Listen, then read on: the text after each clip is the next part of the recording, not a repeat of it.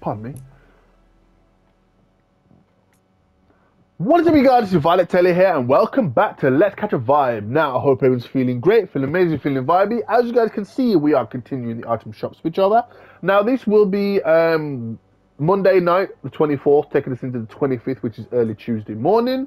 As you guys can see, the item shop has rolled over quite early. It's been doing this recently. But anyway, as you guys can see, we have not new, but we have a kind of newish bundle, the Overseer bundle. 3,000 V-Bucks, Let's check it out. So, pretty much you will have, you will have seen these skins before, but they usually come separately. Now you can have them all in a bundle.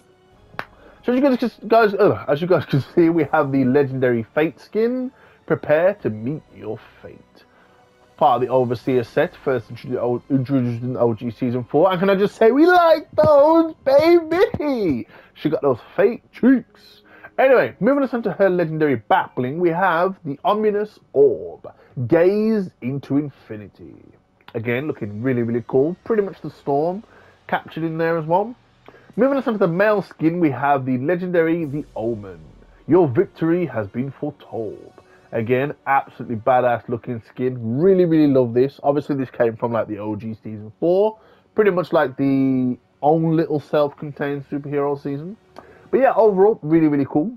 Moving us on to the bat bling, we have the legendary Battle Shroud shrouded in mystery. Again, nice little uh, battling, nice little cape there. Moving us on to the first of two harvesting tools, we have the Fated Frame. Rise above your fate. Secondly, we have the Oracle Axe. Visions of Victory. Last but not least, we have their shared glider, which is the Split Wing snap into action. Jeez! Every time, I've mentioned this before, but every time I look at this logo, it always reminds me of Galactus. Because obviously Galactus has always got the purple antennae, any on the side of his head. 3,000 V-Bucks? Ah, that is very, that, that's quite expensive, actually. We haven't had a bundle that's been 3,000 V-Bucks. Have we ever had one that's been 3,000 V-Bucks? I think we have, but it's, it's definitely had more than this. This is an old bundle, to be honest. This is a very old bundle. Like OG Season 4, nah, that, that's very expensive. Very expensive. Anyway, moving on to the rest of the featured store, we had the return of the zombified emote. Traversal as well. Brains. First introduced in Chapter 2 Season 1, being Traversal, like I mentioned. It actually suits Toxic Rick quite well. Anyway, moving us on to the return of the Fright Funk. Show off your ghoulish groove. Jeez, this is the one that I need to get back as well. Moving us on to the return of the Storm King Fist. Beware the Thunderstrike. Again, looking absolutely amazing. Moving us on to the Storm King music. Press play and face the king. That's the one thing Fortnite has been lacking. Everything else has been perfect. We don't have any boss characters. Like, this was an actual boss that you could take his health down. I miss those kind of things. Anyway, moving us on to the return of the Athleisure Assassin. I swear to God, this skin has got the most customizable on it. Yeah, she's got like five styles. Anyway, we have the Athleisure Assassin. Definitely not off the rack. Part of the Run the World set. First introduced in Chapter 2, Season 3. Looking very badass. And can I just say, we like those, baby! Because she's fashionable, and she's got those leather cheeks. Well, they look like leather leg. They look like the sausage leggings. Anyway, enough of me looking at booty. Moving us on to the alternate styles, we have the default, we have the no hat version, we have the no glasses version, we have the no glass, the no mask version, and then to finish it off, we have it all off. This was what I originally thought you could use as like a tactical Gwen Stacy skin until we got Gwen in the game, because she got the same kind of hair color. Anyway, moving us into the back bling, we have the Holt holster. No knockoffs here.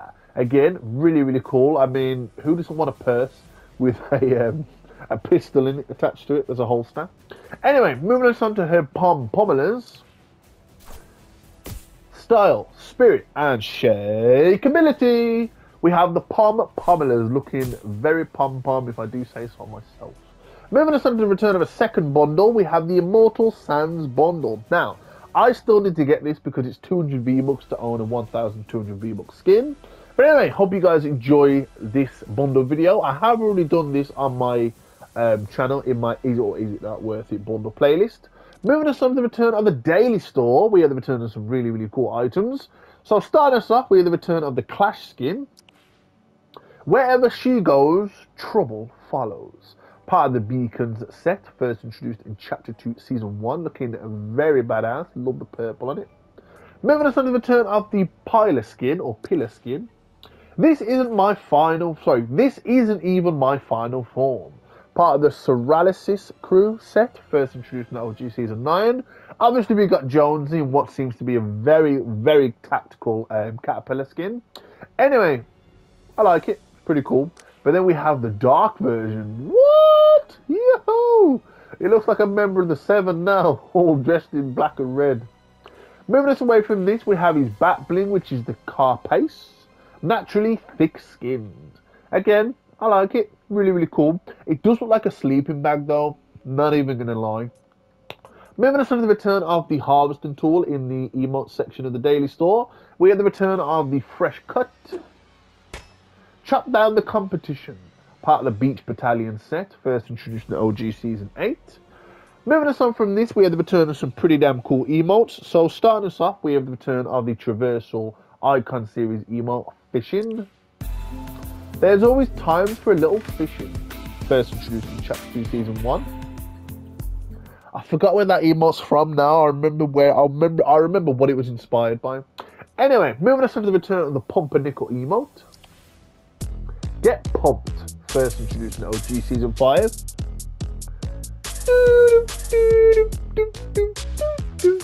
Moving us on to the last but not least, we have the Revel. Nothing wrong with a little celebration. Hey. Hey. On to the return of some of the bundles that you guys will have seen over the past couple of days and you guys may have seen introduced last night. Also, we're supposed to be getting a new pack in the special offers, so stay tuned for that in a minute. Anyway, we've got Ash Williams. We have Black Adam.